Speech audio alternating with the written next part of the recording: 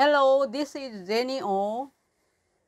Namdaemun is the national treasure of Korea, number one. It is also called Sungnyemun Gate. The best architecture is the pride of Korea. Please watch my video until the end.